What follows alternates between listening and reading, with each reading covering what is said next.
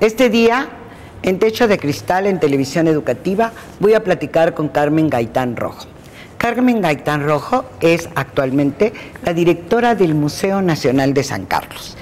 Ha sido durante mucho tiempo gestora de actividades culturales, editora, ha estudiado historia del arte en París, ha desarrollado una importante actividad en la promoción y edición de libros, de algunos libros históricos hace algunos años, y Carmen Gaitán Rojo también, antes de ser directora de este museo, fue directora del Museo del Mural Diego Rivera. Eh, realmente platicar con ella es un placer porque es una de las mujeres que dirigen museos en este país, que quiero decirles son muchísimas. Muchas gracias.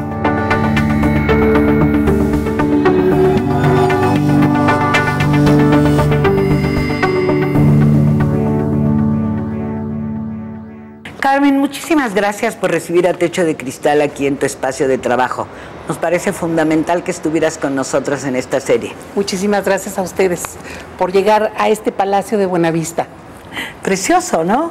Uy, sí, bueno, es un edificio de Tolsa que se termina en 1805 y trabajar aquí realmente es un privilegio, es un, sueño, es un gusto, es un sueño hecho realidad.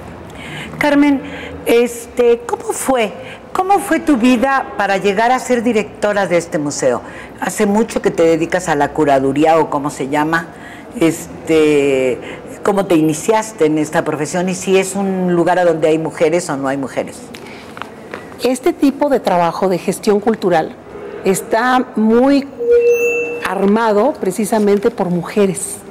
Es una vocación como si uno estuviera al frente de una casa.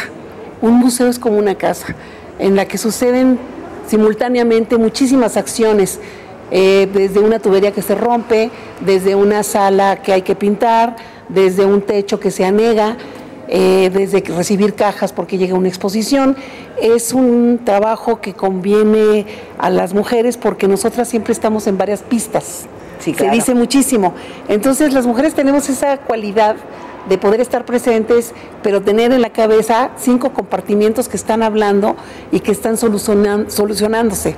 Así pues, estar en un museo es eh, la posibilidad de darle a esas competencias que uno tiene la libertad para que se desarrollen y para que sean efectivas. Eso, eso lo puedo entender, pero digamos, también es una vocación, mientras hablabas, pensaba una vocación femenina, este, estaba pensando en Inés Amor, ¿no? Y su hermana. Eh, que, o en María Izquierdo, que también... Eh, claro, bueno, yo creo que todo ser humano sensible tiene vocaciones como la música, como la pintura, como el teatro, como la ópera. Y yo creo que en mi casa, eh, yo soy de Parral, Chihuahua, había un gran gusto por la música y mi casa era como de artes escénicas. Mis padres tenían una gran vocación para la decoración. Entonces mi casa sí era como una especie de teatro porque siempre había un punto visual que era fantástico, que era agradable, que era físicamente muy hermoso. Y eso yo sí creo que me marcó. Y me marcó muchísimo que muy joven mis padres me mandan a París a estudiar cuatro años y yo empiezo a estudiar la, carrera de Historia del Arte, aunque no la termino. Pero la estética parisina de las calles, de las gentes, de cómo se vestían, de las exposiciones en las galerías, de los museos, cómo estaban las luces, cómo se ponían las mamparas, cómo se ponían los pedestales, es algo que me marcó muchísimo. Claro. Y cuando yo regreso a México muy joven, tengo la suerte de que entro a trabajar en una galería que se llamaba la Galería del Círculo y siempre tuve vocación por la literatura y por las artes plásticas. Y entonces empiezo a trabajar en esta galería y ahí me conoce Miriam Kaiser, que después es directora del Palacio de Bellas Artes y me lleva como su adjunta. Estando trabajando yo en el Museo del Palacio, tengo la fortuna de encontrarme con Fernando Gamboa, que fue el gran promotor cultural de este país en los años 40, 50, 60 y bueno, era el gran maestro y en ese momento era quien dictaba el arte, las exposiciones, las curadurías, como se les llama ahora, eh, hasta que llega a ser el gran director del Museo de Arte Moderno y me lleva a trabajar con él.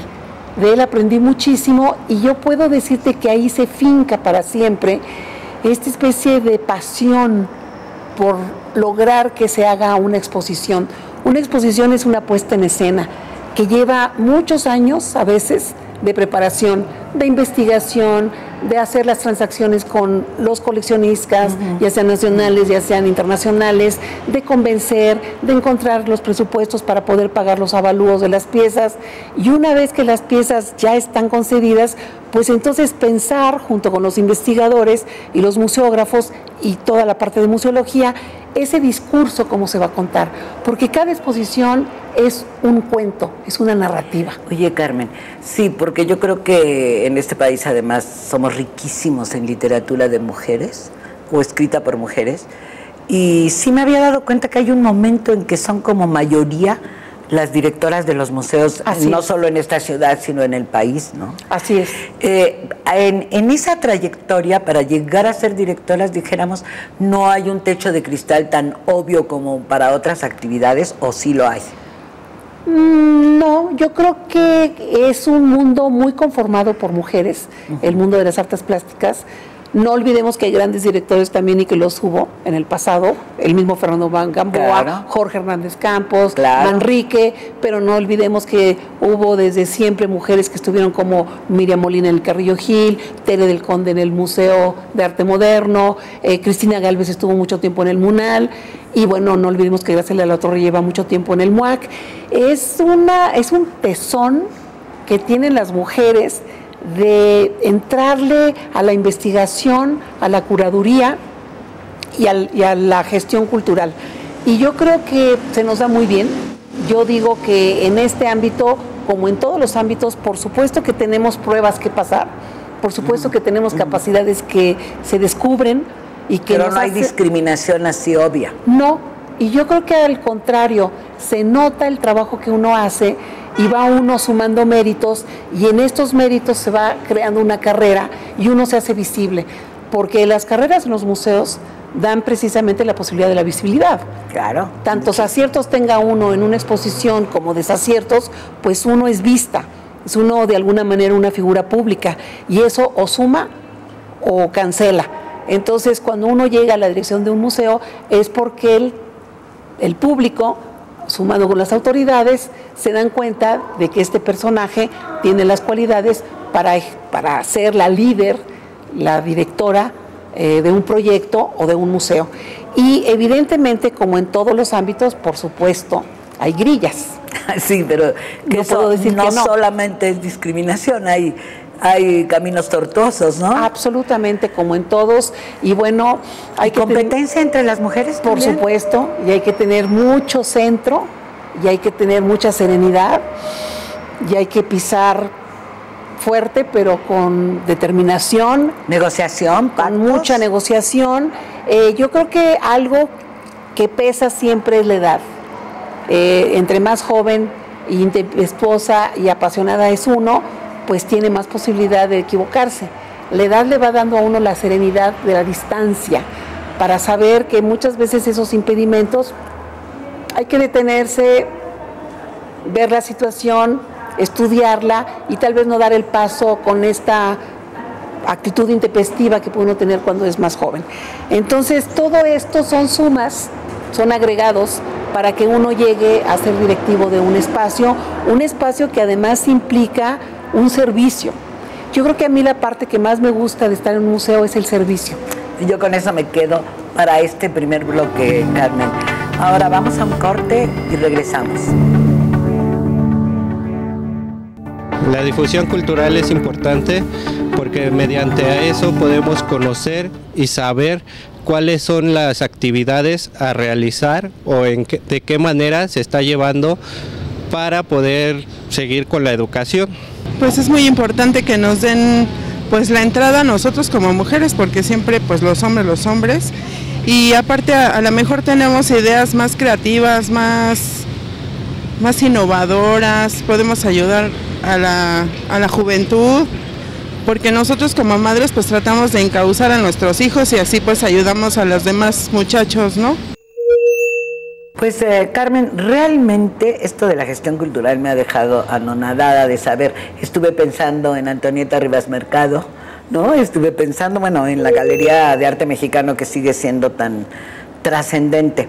Y en esto de los museos, ayer estaba viendo, no sé qué día, a Teresa del Conde, también escriben cosas estas mujeres. Son como una multitud de cosas, tú también, ¿no? Eh, ¿hay, ¿Hay diferencias entre el arte que producen las mujeres y el arte que producen los hombres? Hay una... No, yo creo que el talento es el talento. Y cuando el talento es, se impone. tienes eh, artistas espectaculares en México, tienes curadoras, tienes, bueno, artistas que hacen instalaciones. Ahorita hay una gran exposición de Lorena Wolfer que habla sobre la, la violencia contra las mujeres y el Museo de Arte Moderno, talentosísima y al mismo tiempo estás teniendo exposiciones del siglo XVI en otros museos del Instituto Nacional de Bellas Artes. No, yo creo que cuando hay talento, está Beatriz Zamora. No importa el este, sexo. No, importa el sexo. Estaba yo pensando en esta mujer que hace las grandes arañas, la francesa. Eh, una mujer que trascendió, bueno, evidentemente vamos a caer con Frida Kahlo, pero también estaba Olga Costa, pero también estaba María Izquierdo pero al mismo tiempo está Orozco, Tamayo, Toledo, eh, Leonel Maciel, Javier Arevalo, Aurora Reyes. Yo creo que el ser humano que tiene ese toque, esa especie de química que le produce, no sé si tiene que ver con una ensoñación o con tener un toque divino para ser alguien diferente a los demás y poder expresar eso que tiene que decir de manera como nunca nadie lo ha dicho, no tiene distingo.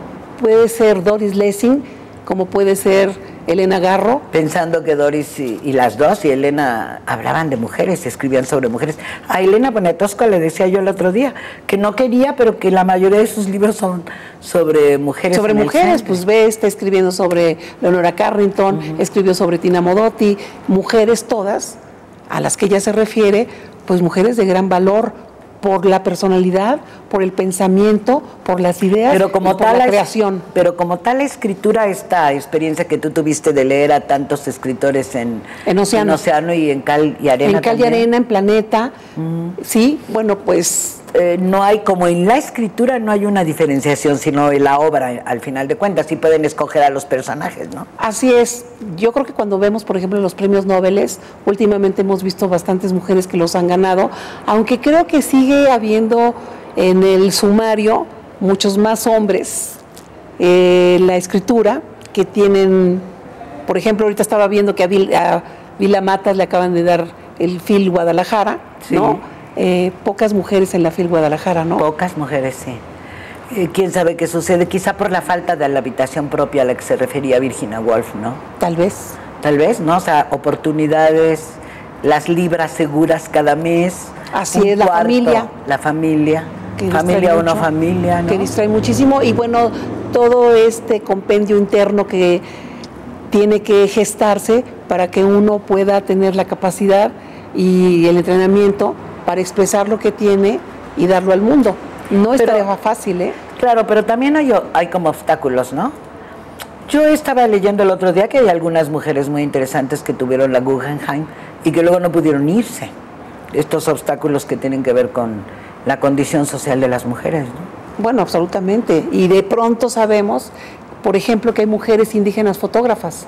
Qué increíble. O que hay mujeres indígenas eh, que están también creando literatura. Uno quisiera que fuera ese conocimiento muchísimo más masivo, pero sí hay todo un sistema que te impide que accedas pues al gran formato, no al mainstream y que estés en la, a la vista de todo el mundo. Sí creo que sigue siendo un arduo trabajo el que tenemos las mujeres para imponer nuestras ideas, nuestra voz. No hay tantas periodistas mujeres, por ejemplo, como tantos fotógrafos o fotógrafas. ¿Cuántos fotógrafos mexicanas hay de renombre como Graciela Iturbide, como Lourdes Almeida, ¿no? De igual manera, pues en las artes plásticas pasa lo mismo. Sí siento que hay camino allanado, pero que sí siempre se nos sigue dificultando llegar a la cima igual que los varones. ¿Y en este mundo de la cultura se paga menos a las mujeres? Es decir, una obra hecha por un hombre o hecha por una mujer tienen valores eh, económicos, ¿no? No, no, yo creo que a Magali Lara le pagarán exactamente igual que le pueden pagar a alguien contemporáneo. Eso también es trayectoria, es eh, cuántas veces has ganado premios, accedes a bienales, accedes a galerías, es también una carrera. Y pero esa carrera también es de obstáculos o solo de talento, ¿qué dirías? Yo creo que es básicamente de talento. Ah, Yo creo que el talento se impone a la larga y no cuando el talento es talento es honesto y la honestidad se termina imponiendo a pesar de las trabas. Fíjate qué interesante. ¿Y mujeres, y mujeres emprendedoras eh, con galerías y eso existe el día de hoy? Bueno, sí, tenemos Además mujeres- de la que hablábamos. Sí, claro. Siempre ha habido también esa, esa especie de lucha porque hubiera, había una galería Proteo en los años 60 que dirigía una mujer de Sonora. Eh, estaba, por ejemplo, Carmen Alardín, que también tenía una galería en San Ángel. Estuvo Esther Echeverría, que también tuvo una galería. En fin, yo creo que las mujeres sí han pugnado. Estela, Estela Chapiro Estela también Chapiro. tuvo una. La Galería del Círculo, que estaba en la zona rosa, era de Luis Remba y de su mujer, que su mujer era muy activa. Y bueno, hoy Nina Menocal, que tiene una galería. No, yo creo que las mujeres, Patricia Ortiz Monasterio. ¿Qué tal? ¿Cuántas han salido, no? Bueno, Emprendedoras. eh, en fin, en la misma Curi Mansuto son un hombre y una mujer que llevan que las riendas de esa galería éxito. y que es una galería internacionalmente reconocida que tiene artistas de primerísimo nivel de arte contemporáneo. Yo creo que las mujeres están a la par trabajando con los hombres en las galerías, eh, no nada más en México, sino en el mundo. Cuando uno revisa las páginas del periódico El País, se encuentra con que hay grandes galeristas mujeres francesas, españolas, italianas, que están dando la batalla por tener un piso y mostrar la creación de hombres y mujeres en sus espacios.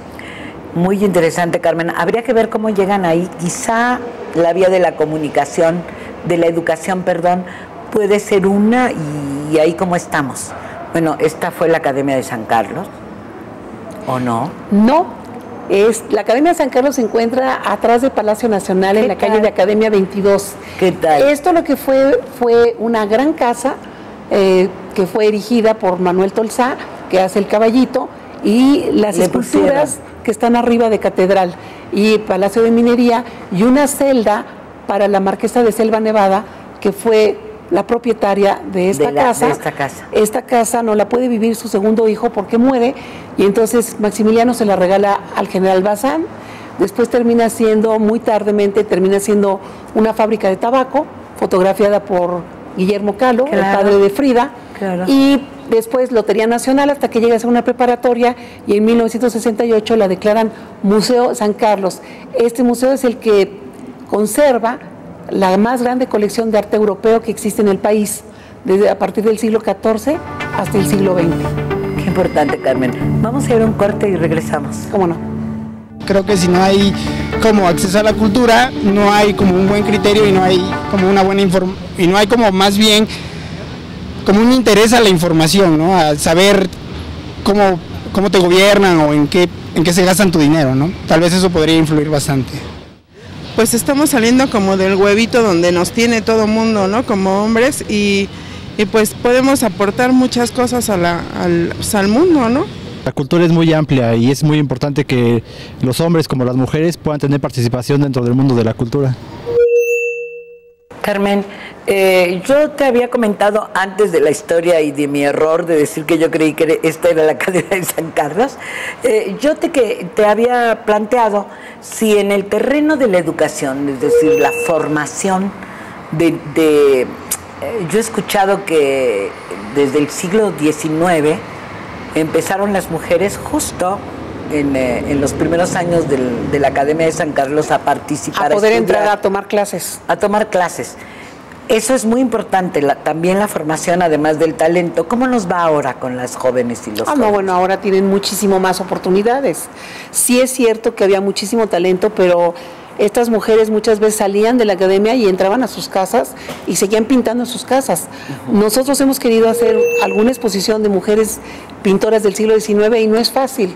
No es fácil encontrar que hubiera una Suficiente. cantidad suficiente como si tienes Pléyades, José María Velasco, Rebull, Diego, Gedovius, en fin, muchísimos hombres que estaban en la academia y que llegaron a, a A entrar, producir y a- pero sobre todo a participar en los salones, en los salones de París, en los salones de Roma, y en cambio pocas mujeres, muy pocas mujeres. Yo sí creo que ahí era muy atávico, era un mundo muy cerrado, en el que poco accedían a las mujeres. Aquellas que lograban trascender, pues eran mujeres de mucho carácter y de mucho talento que lograban imponerse, pero no era la, y norma. Producto, y producto de este, de este cambio, de estas oportunidades, ¿de, de quiénes nos podrías hablar? Mujeres en este momento haciendo ser una promesa, haberse iniciado con una gran capacidad, qué sé yo, exitosas, con premios, jóvenes, de una generación después de la mía y la tuya, o sea, como en Pues sí, mira, por ejemplo, en una bienal de, de Venecia estuvo Melanie Smith, ¿no? que es una inglesa radicada en México, está, como decía yo, Magali Lara, está Lorena Wolfer. Relativamente jóvenes. Sí, digamos, sí. sí, joven, mujeres que están... Yo creo que hay muchísimo talento hoy en mujeres de 30, 30, 25, hasta 40, 50, que realmente eh, no, no, no tienen ningún impedimento para expresarse. Hay muchos medios ahora hay medios audiovisuales, donde este, también están redes, claro. claro, redes, hay mucha obra este, gráfica de mujeres. Yo creo que las mujeres están teniendo muchísima incidencia en el arte, muchísimo más que en años anteriores. Y esto también, bueno, en México hay toda una historia de feminismo, como tú sabes, que ha abierto las puertas para que las, hombres, las mujeres tengan voz, tanto en la política como en el arte, como este, pues en otros medios, en son también, eh, me llama mucho la atención que son líderes este, agropecuarias. Que bueno, son, estas que tú conoces por, por, participar en el Fondo Semillas. ¿no? Sí, en este grupo, que esta organización de mujeres, que es el más grande fondo que existe para mujeres, de mujeres para mujeres, en el cual nosotros conseguimos eh, patrocinios, conseguimos dinero para proyectos de mujeres que ya están formalizados, pero que les falta el recurso para echarlos a andar. Como estas líderes de las que hablaba. Estas líderes que pueden estar en Oaxaca o en Chihuahua o en Puebla o en Tapachula o en Sinaloa. Mujeres que tienen proyectos de toda índole, desde estufas eh, con, con, elementos de tierra, como pueden ser artesanías, como pueden ser mujeres que están hablando de la prevención de violencia, de el cuidado que también hacen creación. Y que también pueden ser diseñadoras, mujeres indígenas que pueden ser diseñadoras y que están adecuando sus diseños a unos mercados como más, pues más prácticos para no quedar nada más en este ámbito artístico que es también la artesanía, pero para trascender fronteras y salir al extranjero. Yo creo que estamos en un momento en el que gracias a todo ese feminismo de los años 60, 70, 80, se logró que la mujer tuviera la posibilidad de expresarse de manera contundente, libre y con ideas propias, sin copiar, sin ser una emulación de lo que se dice o ya sea en un manual o de lo que dictaba el hombre. Hay muchísimo trabajo por hacer, todavía vemos muchísima violencia intrafamiliar, pero en la medida en que nosotras que estamos en posturas visibles demos ejemplo, de que sí se puede y de que tenemos compañeros, como fue el caso mío de Federico Campbell, que fueron compañeros que alentaron nuestra claro. vocación, que permitieron que saliéramos adelante y no nada más lo permitieron, les gustaba tener una compañera no, había, pensante. había una compartición ahí muy importante y diríamos que entonces, en el terreno de ciertas actividades culturales o de todas, eh, están las mujeres rompiendo el techo de cristal. Estaba yo pensando en algunas escritoras que les ha ido muy bien en la vida. ¿No? Pues fíjate, Miriam Moscona, Miriam Moscona Mónica Lavín, claro. ¿no? Este que están, tienes a mujeres fantásticas como Rosita Nizán, que era una ama de casa y que un día rompe con todos los atavismos. Pero que además nos abrió una, ese espacio de explicarnos un mundo que conocíamos poco, como conocemos otros pocos, como el Islam, pero también el mundo, del mundo de la judería. De, de la judería, este, claro. Y entonces ahí te das cuenta de que claro que se mueven por todos lados. El, a mí me sorprende mucho cada vez que viajo por los estados el talento también que hay en cada estado. En cada estado tienes poetas. muchos museos fundados museos por extraordinarios, ¿no? Museos extraordinarios en Saltillo, museos extraordinarios en Tijuana, movimientos de música, movimientos de literatura, de poesía, muchísimas mujeres participando en la poesía. Entonces te das cuenta de, es un país, a pesar del embate de violencia, es un país que sigue produciendo. O sea, esto habla de que es un país con, con una capacidad de creación y de, tener, y de necesidad de tener una voz para decirlo y de manifestarlo pues con, con lo que le, da el talento a cada quien para hacerlo. Así que yo sí creo que las mujeres cada día vamos ganando más terreno. Ay, Carmen, es fantástico porque yo estaba pensando también en los medios de comunicación, también las mujeres tienen lo suyo como fundadoras de revistas y esto. Creo que me voy a quedar con este mensaje que es absolutamente positivo en medio de un momento o de algunos momentos en que uno cree que solo va a haber una tormenta. Realmente es, es muy fantástico y, y te sientes muy contenta en San Carlos. ¿Hay algún plan?